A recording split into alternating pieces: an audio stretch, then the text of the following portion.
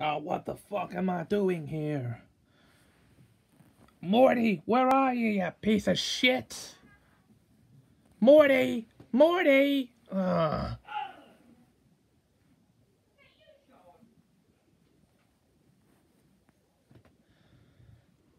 Where is that sack of shit? There's no need to talk about your grandson like that, Rick Sanchez. And, um, why should I not? Sapphire? Because it's not the way a grandfather should be talking about his grandson. Well, I'm just trying to summon him. Try summoning him a little nicely. A little more nicely. a little more nicely.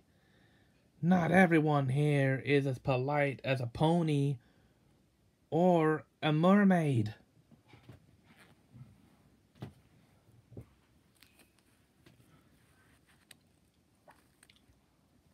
Hey, Twilight Sparkle. Yes? Can you summon my grandson, please? I can't do that. He'll come on his own. You can't use your fucking magic to summon him here faster? What kind of fucking pony are you? Don't you take that tone with me, Rick Sanchez. You need to learn yourself some manners.